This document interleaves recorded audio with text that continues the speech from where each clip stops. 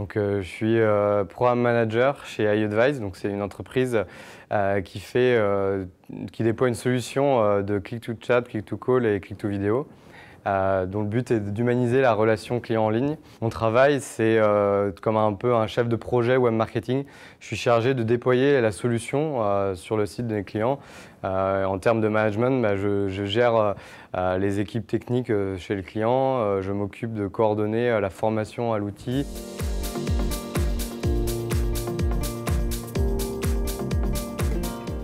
Avant d'intégrer Audencia, euh, j'ai fait une école d'ingénieur qui s'appelle l'ESEO en informatique et en électronique. Je me suis dit que euh, j'aurais bien aimé compléter mes compétences techniques par euh, des compétences plutôt managériales et plutôt commerciales.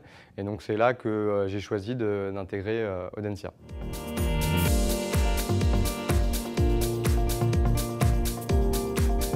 Les différences entre mon ancienne formation d'école d'ingénieur et la nouvelle chez Audencia, euh, je pense que c'est dans la façon d'aborder les cours.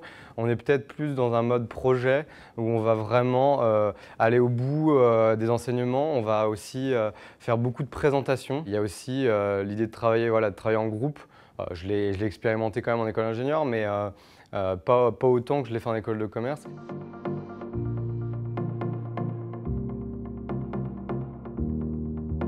Il faut essayer d'être créatif, d'innover.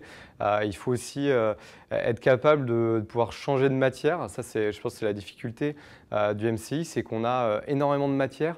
Je disais, on fait de la gestion, de la finance, mais on fait aussi du marketing. On, a un peu, on fait un peu de cours d'anglais, on fait des cours de gestion de projet.